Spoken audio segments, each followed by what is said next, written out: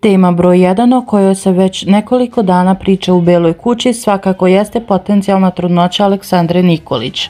Sinoć tokom emisije Pitanja gledalca ova tema je ponovo pokrenuta, a verni fanovi i paževi gledalci zadruge odmah su se prisjetili Aleksandrine priče o trudnoći, o nekoj od prethodnih sezona, te su uporedili sa sadašnjom. Očigledno ili ne, došlo je do ozbiljnog nepoklapanja.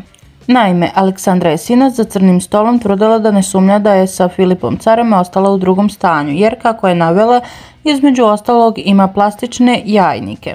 Medicinski problem koji zaista može otežati začeće.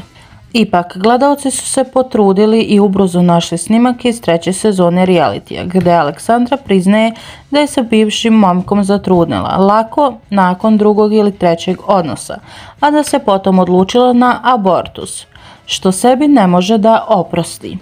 Aleksandra Nikolić priznala trudnoću, nastao lom u zadruzi.